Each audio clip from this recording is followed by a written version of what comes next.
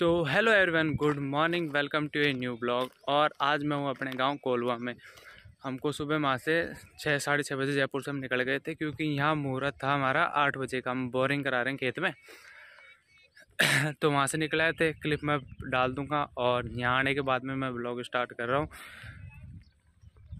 तो अब चल रहे हैं घर और चाय वाय बनवाते हैं। फिर चाय लेके और यहाँ पे चाय पिलाते हैं सबको। गैस यहाँ से निकल चुके हैं हम सुबह छः बजे गाँव के लिए और पापा चला रहे हैं गाड़ी। क्योंकि ऑब्वियस है, क्योंकि पापा साथ में जा रहे हैं तो पापा ही गाड़ी चलाएँगे। मेरे को तो साथ देने से रहे, और मेरे को देते भी नहीं है, बहुत कम देते हैं गाड़ी चलाना। और यहाँ करा रहे हैं हम फ्यूलिंग और फ्यूलिंग के बाद में सीधा निकल रहे हैं डोसा ये सीन आप देख रहे हैं, ये डोसा का सीन और ये सीन मेरे को भी काफ़ी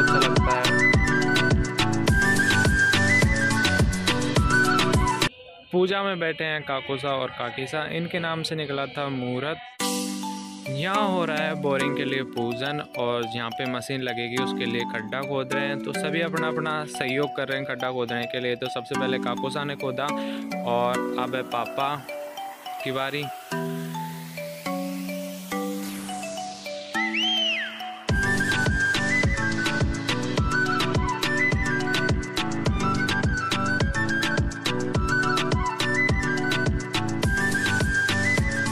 अब आए हैं ताऊ जी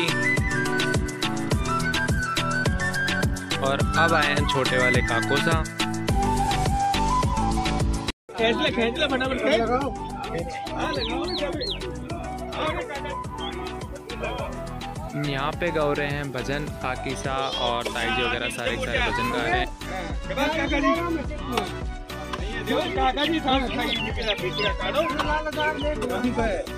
यहाँ बड़ा आदमी सही रहते। वो आगे मशीन सो गाइस घर से चाय बनवा लाए हैं और अब चलते हैं खेत पे। और आज आपको गाँव ही दिखा देते हैं तो पूरा। पहले खेत दिखाते हैं फिर घर दिखाते हैं हमारा। सो यहाँ है हमारे खेत। ये बोरिंग की मशीन लग रही है ना इस साइड। ये पूरा हमारे खेत है। और दिखाता हूँ अंदर से।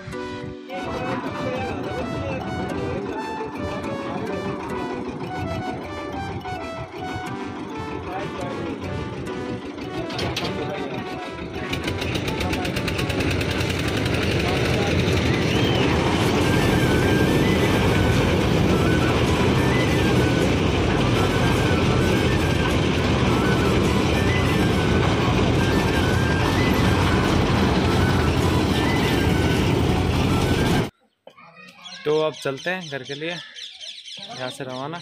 यहाँ है अपने घर तो कभी आने वाले ब्लॉग्स में कभी दिखाते हैं पूरा। तो गाँव से हो गए हम रवाना जयपुर के लिए और पापा की थोड़ी सी कृपा मेरे पे हो गई तो इस टाइम चला रहा हूँ गाड़ी मैं और सामने चल रहे हैं काकी सा और काको सा और ये हो रहे हैं दोनों बातों में बिल्कुल लीन।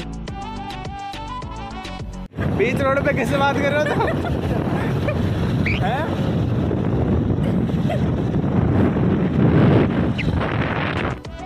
और ये है गाँव से निकलते ही सबसे पहला फाटक। और कितनी अच्छी बात थी हम यहाँ से निकल रहे थे और सामने से ट्रेन आ रही थी तो काफ़ी अच्छा व्यू था। और यहाँ हुआ कुछ ऐसा कि मैं चला रहा था बाइक तो पापा बोल रहे थे बोले हाईवे है तू पीछे बैठ मैं चलाऊँगा तू पीछे बैठ मैं चलाऊँगा। पापा को बहुत डर लगता है मैं जब भी, बाइक चलाता हूँ तो लास्ट में मैंने पापा को दी थी मैं लो आप ही चलाओ मैं नहीं चला रहा।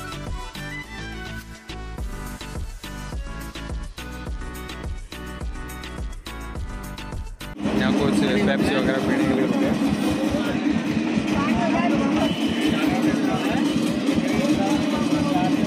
गाँव से घर आ चुके हैं और उसके बाद में घर कपड़े वपड़े चेंज किए। कपड़े चेंज करने के बाद में मनीष का कॉल आ गया।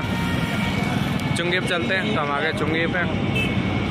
अभी मेमोज खाए हैं तो बहुत तेज़ मिर्ची लग रही है इसलिए आइसक्रीम लिए। काफ़ी दिनों के बाद में आज फास्ट फ़ूड पे उतरे हम।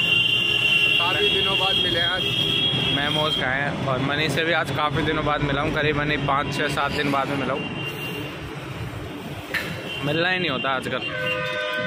पास के पास में घर होने के बाद में मिलना नहीं हो रहा।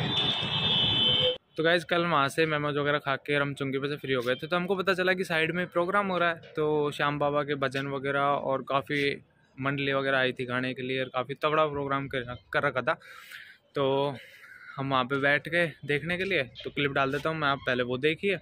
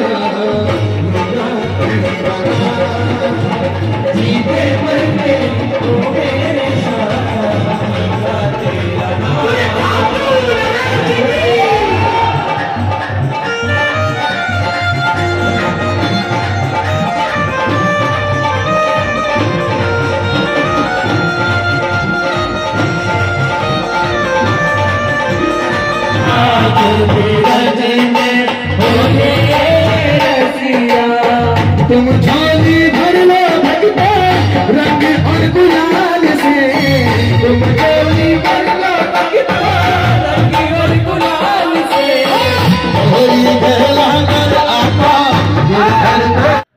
गाइज़ कुछ ज़्यादा ब्लॉग तो मैं कर नहीं पाया। मैं बोल रहा था आपसे कि घर दिखाता हूँ, खेत दिखाता हूँ, और ज़्यादा कुछ मैं दिखा नहीं पाया था क्योंकि धूप हो रही थी और फिर वहाँ से खेतों पे से आके, और हम बैठ गए थोड़ी बहुत देर, बैठ के तो पता नहीं कभी नींद आ गई, नींद आने के बाद में फिर चार बजे उठा था मैं, चार बजे उठने के बाद में फिर पापा और ये सारे के सारे बोले, चलते हैं, घर चलते हैं, घर चलते हैं।